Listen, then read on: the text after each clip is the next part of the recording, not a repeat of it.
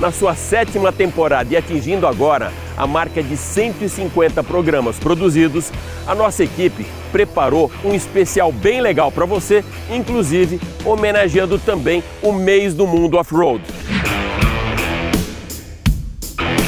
Você sabia que os quatro mais emblemáticos automóveis já produzidos em série foram fabricados antes, durante e depois da Segunda Guerra Mundial?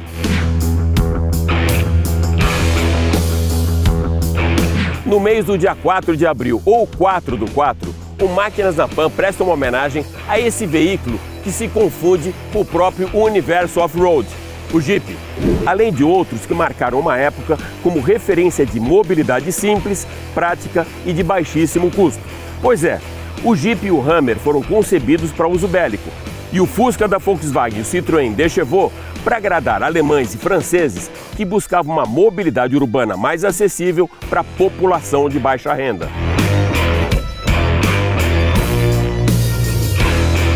E já que somos movidos por aventura e o assunto de hoje é o 4x4, eu falo com vocês diretamente do Tempo Wind Club, bem às margens da represa Guarapiranga. E mais, vamos levar você também para o campo de provas da GM em Milford, nos Estados Unidos, para testarmos juntos mais um pesado do mundo off-road, o Hammer EV 100% elétrico.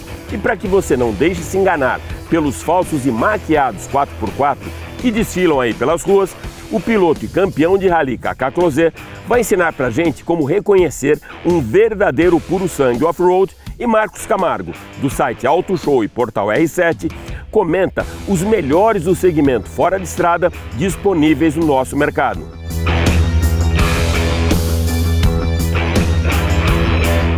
Eu sou Alex Rufo e tudo isso e muito mais você vai acompanhar comigo nesses próximos 30 minutos aqui no Máquinas na Pan. Lembrando que agora você pode acompanhar toda a nossa programação em vídeo pela TV Jovem Pan News e pelas plataformas digitais da Jovem Pan. Então se ajeita bem aí no cockpit, aperte o cinto, porque o Máquinas na Pan dessa semana está só começando.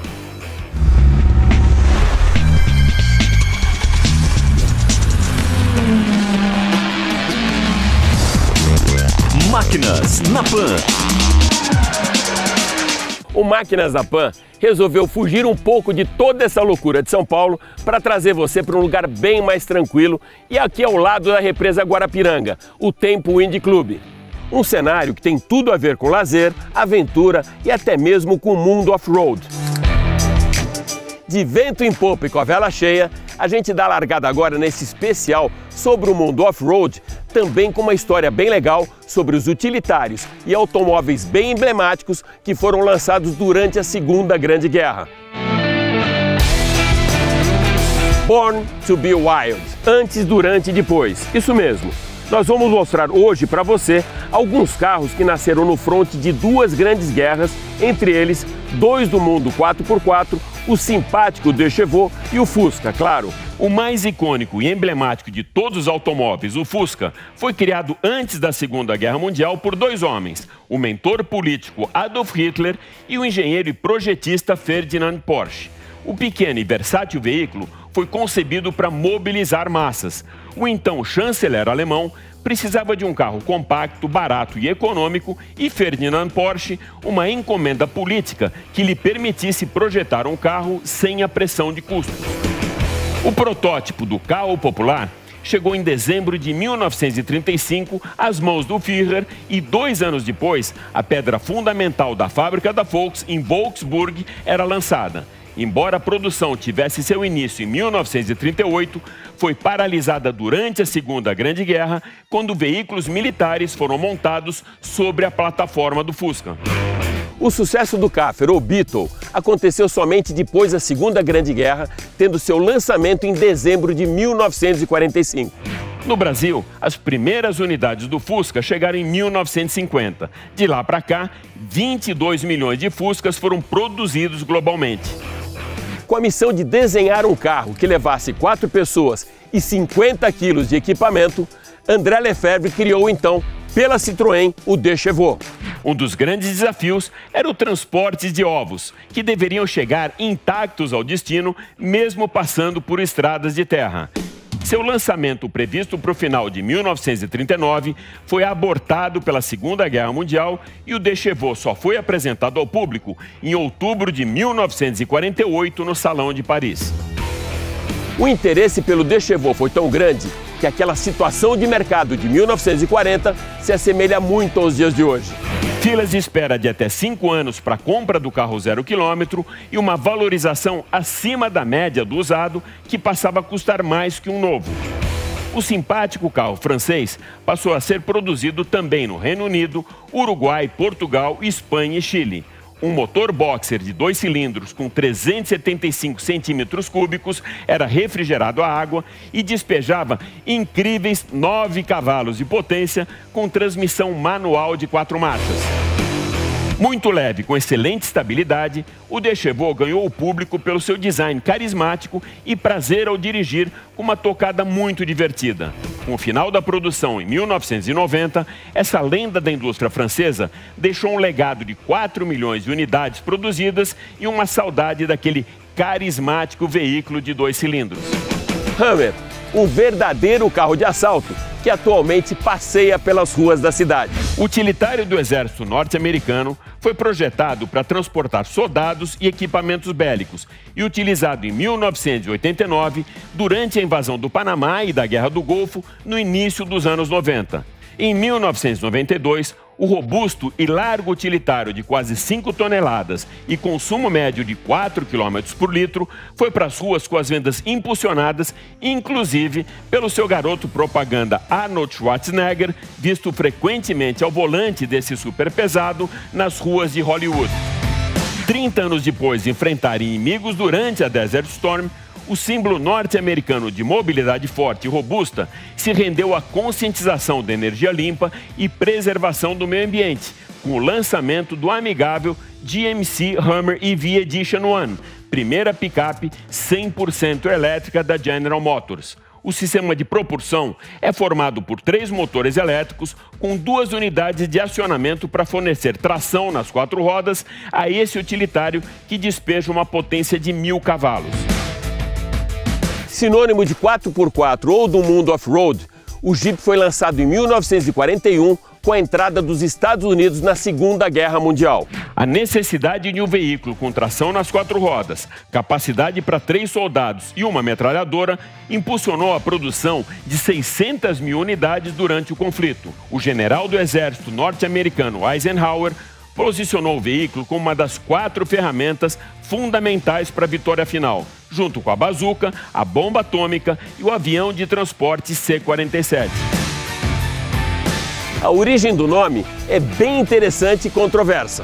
Uns atribuem o nome ao personagem de histórias em quadrinho chamado Gene de Jeep, que era do tamanho de um cachorro, nativo da África e capaz de passar para a quarta dimensão e companheiro de Popeye. Esse personagem cativou o público e se tornou rapidamente popular. A outra versão menos poética vem do GP, sigla para General Purpose, e pela sonoridade Jeep. Eu prefiro ficar com a versão mais simpática de todos, do personagem do Popeye. O início da produção do Jeep no Brasil ocorreu em 1957, como plano industrial para nacionalizar a produção de veículos. O sucessor Wrangler trouxe para a marca novos padrões com sofisticado requinte tecnológico do Cherokee, que aliado à robustez do clássico Jeep, foi um sucesso e está no mercado até hoje. Superar barreiras, vencer obstáculos e levar você para o mundo da aventura. A exemplo da farinha maisena, da lâmina de barbear gilete e da palhinha de aço bombril, Jeep se tornou, ao longo dos anos, referência nominal para veículos fora de estrada. Então, para homenagearmos o mês do 4 do 4, um 4x4 puro, raiz, o Jeep, que a gente testou para vocês na versão Renegade S. Jeep Renegade 2022. Esse é o test drive que eu escolhi para a gente dar a largada no Máquinas na Pan dessa semana. Essa versão que a gente testa hoje é a S270 4x4, que ao lado da Trailhawk é o topo de linha da gama.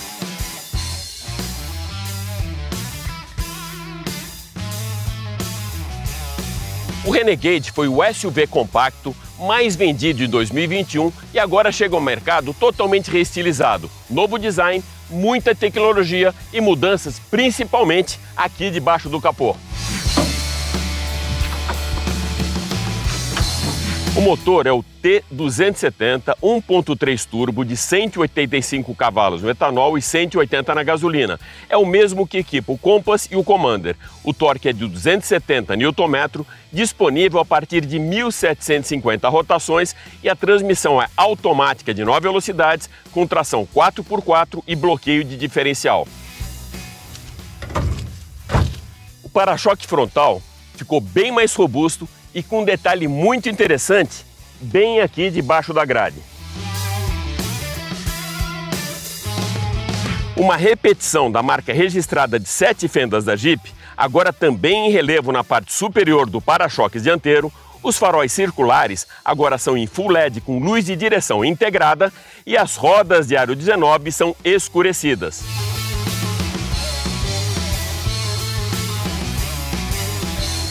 A arquitetura interna e o design são muito bem valorizados por esse lado todo aqui da frente do painel e também do console, que são muito bem esculpidos. O volante foi redesenhado e bem aqui no console central, o apoio de braço tem a marca 1941 em relevo, em baixo relevo, que registra o ano de nascimento da Jeep. Os bancos são em couro de série, já o teto solar é opcional por 9 mil reais.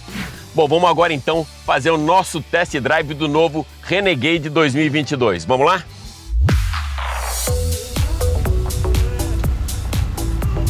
Durante o pré-lançamento, três pilares foram muito bem destacados: a tecnologia, a performance e a capacidade off-road. Vamos conferir. A capacidade off-road a gente já testou aqui no Máquinas na Pan, quando o Renegade ainda estava todo disfarçado, todo zebrado, lembra? A tecnologia embarcada no Renegade, principalmente aquela que trabalha para segurança, é muito boa. São seis airbags, detector de fadiga, alerta de assistente de manutenção de faixa e frenagem autônoma de emergência, além de quatro modos de condução: automático, esportivo, neve, que é recomendado para pisos muito escorregadios, e lama. O Renegade S ele foi inspirado no topo de linha, que é o Wrangler, e mesmo com todo esse acabamento sofisticado e materiais de altíssima qualidade, o DNA e o caráter da Jeep foram preservados.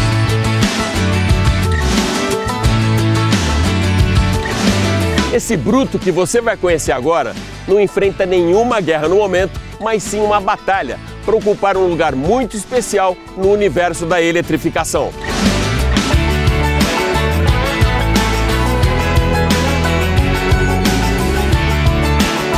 33 anos atrás, em 1989, nascia o primeiro Hammer. Claro, a combustão e utilizado para a invasão do Panamá. Depois, em 90 e 91, ele foi o, o auge, ou seja, teve, foi a grande estrela da Guerra do Golfo, para depois se tornar um carro de rua e com um cliente muito exclusivo que passou a ser o cartão de visita da marca, que foi Arnold Schwarzenegger. Hoje, o conceito é totalmente diferente. A gente vai apresentar para vocês o Hammer EV, que é o 100% elétrico da Chevrolet e com tanta tecnologia embarcada, se eu ficar aqui fora falando, eu não vou conseguir transmitir tudo isso para vocês. Então, eu vou convidar vocês para um test drive para conhecer todos esses features do carro de dirigibilidade que realmente impactaram o consumidor norte-americano.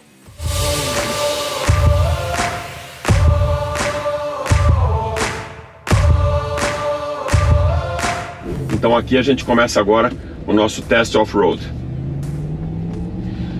A gente está passando aqui por um terreno que não é nada muito extremo, né, mas é mais para conhecer os features, né, as características uh, do Hammer EV, mas ele se comporta muito bem, a suspensão é muito bem equilibrada, ou seja, claro que como é um terreno off-road, vai transferir um pouco das irregularidades do terreno, mas com muito conforto e com muita segurança aqui. É uma tocada extremamente segura.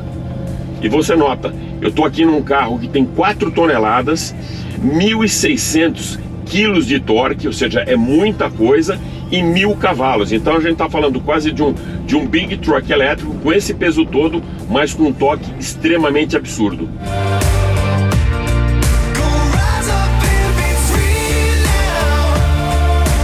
Tá, o exercício que a gente vai fazer agora é de esterçamento, que ele compensa a, a parte dianteira, ou seja, a parte frontal.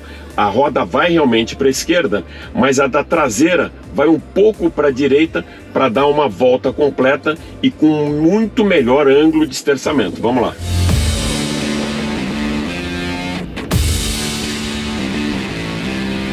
Realmente, a gente faz um círculo completo e com muita facilidade. Essa é a parte mais interessante desse Hammer EV, que é o Crab Walk. Ele anda totalmente de lado, o que facilita ou você passar um obstáculo, ou você sair lateralmente quando tem necessidade. Então vamos lá. Ele sai totalmente de lado, é incrível isso, realmente como um caranguejo.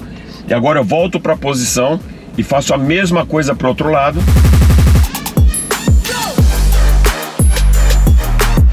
E ele vai lateralmente também. Olha, ele sai totalmente como se estivesse deslizando para um lado e agora a mesma coisa para o outro lado. Ele está esterçando a roda traseira e a roda dianteira.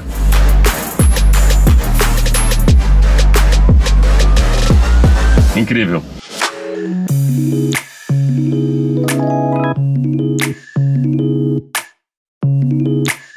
Agora a gente vai fazer um outro exercício que é para ver estabilidade num terreno com muito cascalho, numa velocidade um pouco maior, que dá 35 milhas. Então a gente está falando aqui por volta de 60, 65 km por hora. Vamos acelerar um pouquinho. Realmente, dá para ver que ele sempre compensa a traseira, não existe nenhuma possibilidade de perder a traseira mesmo em curvas mais fechadas e com um terreno que ele é bem escorregadio. Imagina, você tem cascalho, hoje choveu, tem um pouco de lama, mas ainda assim ele é muito estável e muito seguro também. É um carro que usa a sua tecnologia não só para o conforto, mas também para muita segurança.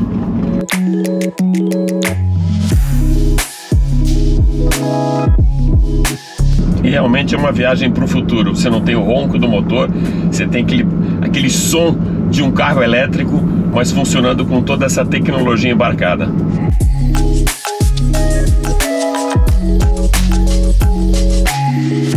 Você sabe o que identifica um veículo 100% off-road, um verdadeiro off-estrada? Para conhecer um pouco mais desse assunto, a gente vai convidar agora o piloto, empresário e campeão de rally Kaká Closé para contar tudo isso para gente.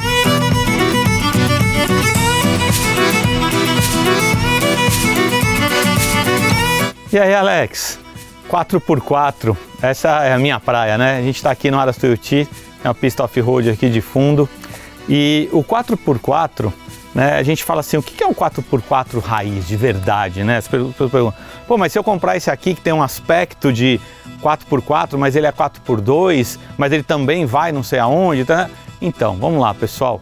Um carro 4x4, ele tem uma característica básica e imprescindível, ter tração nas quatro rodas, né? Não adianta ele ter a aparência de um veículo off-road, mas não ter a tração nas quatro rodas. Se você quer ir num lugar, passar num atoleiro, na lama, na areia, subir, né, um, lugares difíceis, ele tem que ter tração nas quatro rodas, ou seja, os dois eixos do carro, o eixo dianteiro e o eixo traseiro tem que tracionar. Isso já começa por aí, né? Então a nota de corte é ele ter a tração nas quatro rodas.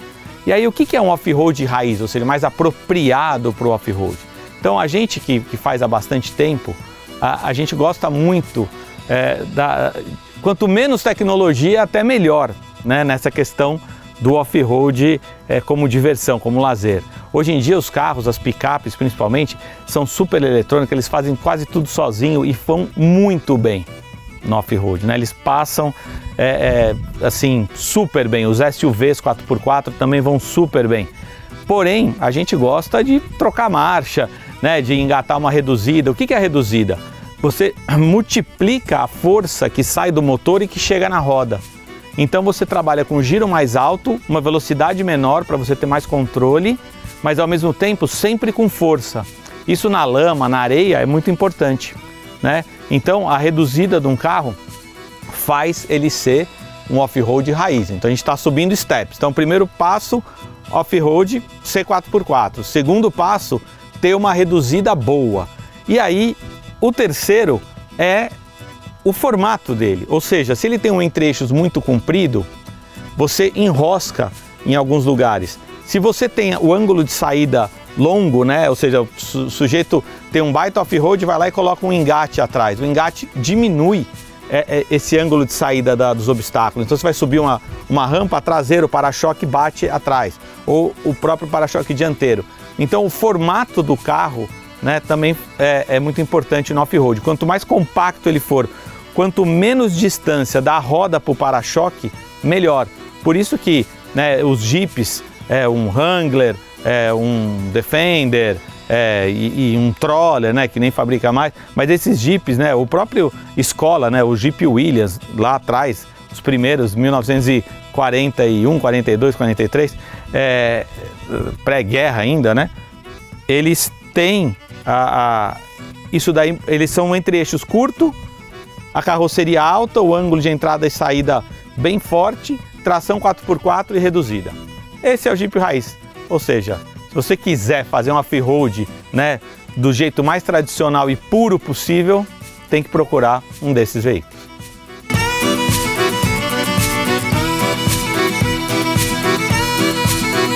O programa dessa semana está literalmente levantando muita poeira. Você já acompanhou comigo os veículos emblemáticos da Segunda Guerra Mundial, o universo off-road e seu maior ícone, um bruto que nasceu na Guerra do Golfo para ir para as ruas, eletrificado e uma aula do mega campeão Kaká Closet.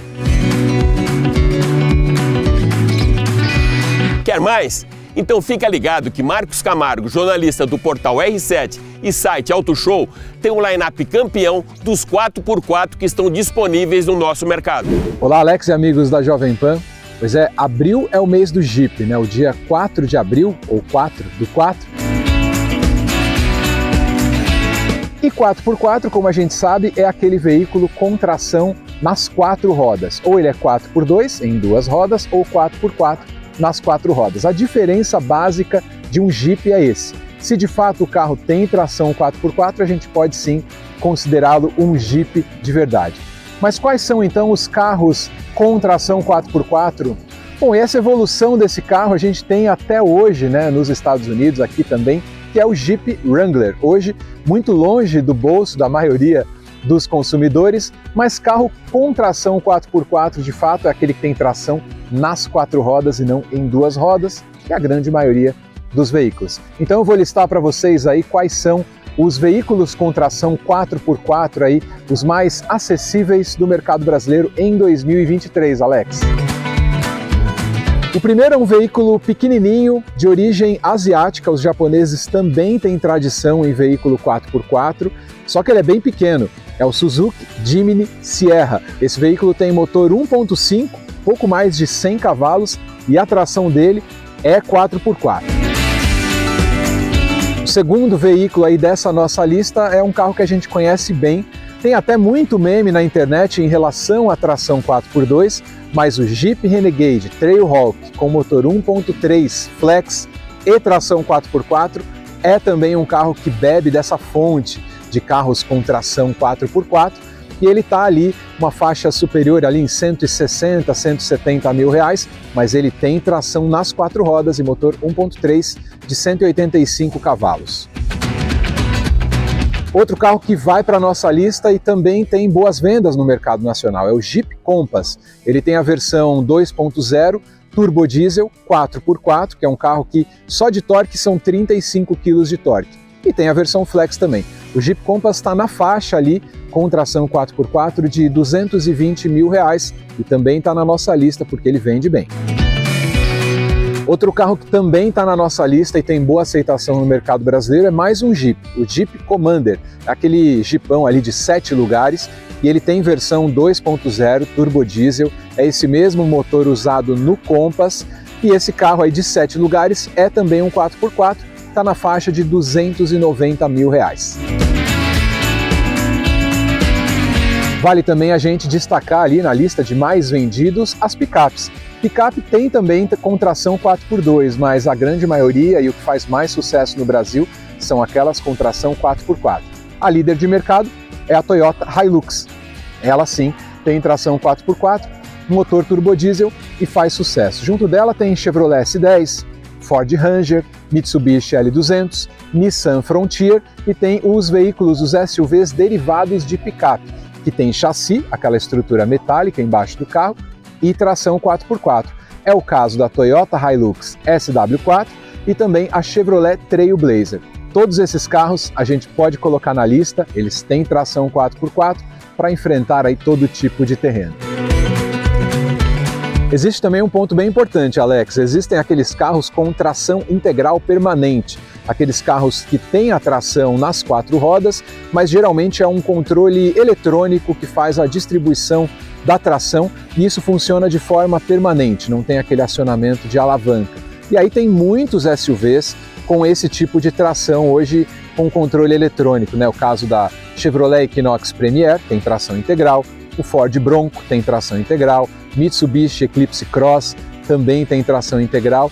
Então, quando a pessoa mora num sítio, numa praia, numa região montanhosa e precisa de um veículo com tração nas quatro rodas, esse tipo de veículo já ajuda bastante. Seja como for, dia 4 do 4, 4 de abril, é comemorado o Dia do Jeep, pelos motivos aí que eu expliquei, e eles são bons companheiros de aventura para quem está procurando um para comprar. Eu passei a lista aí dos mais vendidos, dos mais populares dos mais comuns aqui no mercado brasileiro. É isso aí, Alex. Obrigado e até mais aqui no Máquinas na Pan. Um abraço a todos vocês aí.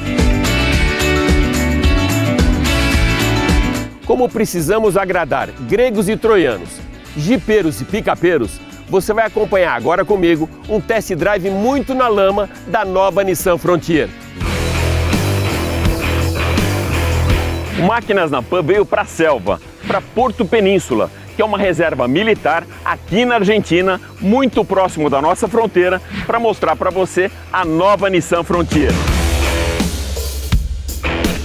Os engenheiros da Nissan rodaram mais de 200 mil quilômetros para que você conhecesse os três principais pilares desse lançamento: robustez, design e tecnologia. Um dos principais destaques do design está aqui na frente. O design da grade transmite muita robustez e força para a Frontier. Os faróis são em LED, quádruplos com forma de C e reforçam ainda mais esse reconhecimento da picape. A nova Frontier está mais larga, mais alta, com maior altura em relação ao solo e também com excelentes ângulos de entrada e de saída. Com 31,6 graus de ângulo de ataque, 25,7 de saída e 25,2 de vão livre, a picape ela mostra muita capacidade para superar obstáculos e mantém a sua vocação off-road. Na parte traseira, o grande destaque é para a caçamba, que está mais leve e também com maior capacidade de carga. O compartimento de carga também cresceu. São 25 milímetros a mais na altura e 50 nas laterais, e com uma capacidade de carga agora de 1.043 quilos. Um degrau posicionado no para-choques traseiro facilita o acesso à caçamba. Vamos agora então para o nosso test drive off-road da nova Nissan Frontier. O motor da nova Frontier é o mesmo que era utilizado naquela versão lá de 2017. São duas as configurações de motor diesel disponíveis. A primeira, biturbo de 190 cavalos e 45,9 de torque, e a segunda, 163 cavalos e 43,3 kgf. Vamos falar um pouquinho da suspensão. Eixo rígido, com molas helicoidais, sistema multilink só que totalmente recalibrada para essa nova versão. Essa recalibração ela proporciona mais conforto para os ocupantes da picape e também maior estabilidade e segurança. Toda a tecnologia embarcada da nova Frontier trabalha muito bem para a segurança. A Frontier vem equipada com alerta de colisão frontal, mudança de faixa de tráfego cruzado traseiro, além do assistente de frenagem e aquela que é a visão 360 integrada com detecção de objetos em movimento. Além do grande espaço interno e um bom conforto também por conta da ergonomia dos bancos, o conforto visual é bem grande.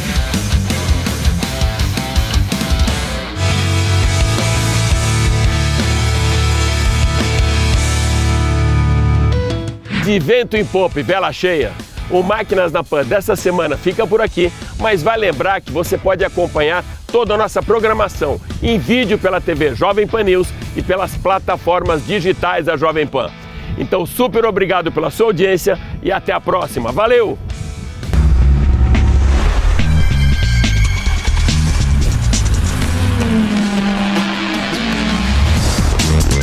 Máquinas na Pan. Realização Jovem Pan News.